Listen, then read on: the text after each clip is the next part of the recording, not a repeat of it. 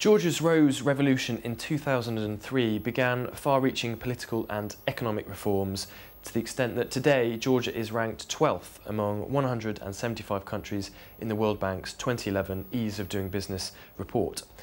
With me to discuss the legislative and business environment in Georgia is Revaz Beridze, Managing Partner at Eristavi Law Group and winner of the World Finance Award for Best Lawyer in Georgia 2013. ELG is also the winner of Best Corporate and Commercial Firm 2013. Revaz, congratulations and thank you for joining us. Thank you very much. It's my pleasure being here. Tell us about the post-2003 reforms and what impact that has on doing business in Georgia.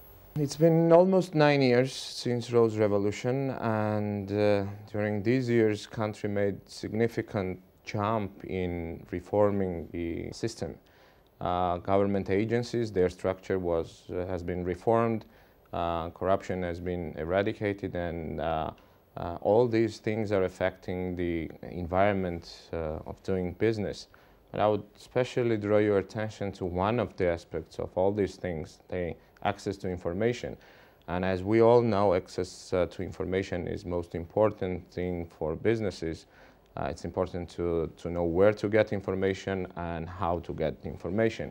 So as a result of the reforms, all information uh, maintained by government agencies have been made publicly available and accessible through different electronic means. The processes have been automated and as a result, information generated uh, uh, has been put up through different uh, electronic platforms, specially designed for these purposes. So yes, indeed, these reforms had a significant effect on the ease of doing business. You mentioned the government's initiatives to increase the availability of data. So the government's move to strengthen ties with the EU is presumably something of which you approve? Uh, yes, definitely.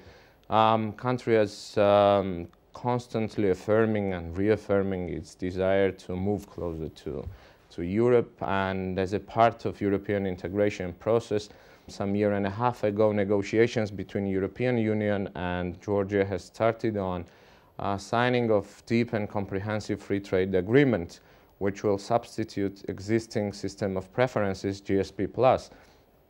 As a result of this, uh, uh, this agreement, Georgian manufacturers and producers will be granted free access to uh, European market uh, with more than 500 million high, high income individuals willing to pay for uh, goods produced in Georgia. Uh, apart from that, the process is, in itself is uh, uh, approximation of legislation with European norms and standards. And since uh, European Union is trading with other countries in the world with the same standards, it will be good for Georgia not only for trading with European Union, but with those countries as well. And Georgia's progress has increased foreign direct investment. So what are people investing in? Statistics uh, show that, uh, uh, for example, in 2011, top fields for foreign investment were energy, uh, financial services, consulting services, uh, transport and uh, communications, mining, etc., etc. Um, apart from reforms, there were special tools introduced in the legislation to attract foreign direct investments like free industrial zones, free touristic zones, and uh, this is, these are the mechanisms which allow investors to enjoy incentives, including tax in, uh, incentives uh, for investing in, in Georgia. Um, again, going back to statistics of 2011, uh, number one investor was um, Netherlands and UK being in the top five uh, investors, we're contributing uh, a bit more than 5% of total FDI. Your firm ELG started practicing in 2009. What are your key practice areas? We are a relatively young law firm, but um, we have expertise in um, different areas of law. So we can provide services to our clients from the very beginning, starting with the legal opinion or due diligence on a specific issue, and then helping them set up the company and their operations and provide continuous legal support to, to their daily operations. So uh, I would say that we can provide our services in any area which might be interesting for our clients. And a word on the people you represent. What is the typical client profile? Our clients uh, represent uh, diverse uh, sectors of economy.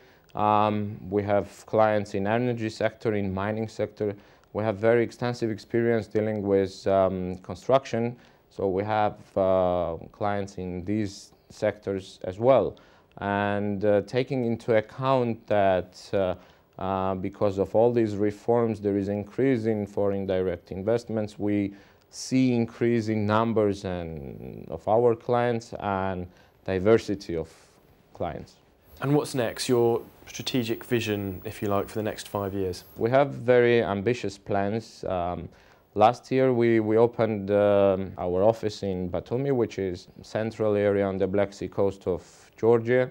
Um, we started construction of our own uh, A-class uh, office building and we're planning to open a couple of more offices um, around Georgia. One will be in Kutaisi, which is the parliamentary capital of Georgia, but uh, one of the most ambitious plans we have is uh, to open an office here in London and we hope to finalize all the issues related with this by the beginning of next year. And in the pipeline, we're looking at Paris as a potential place to, to, to have a representative office there. So um, we believe in success. Revaz Beridze, thank you. Thank you very much.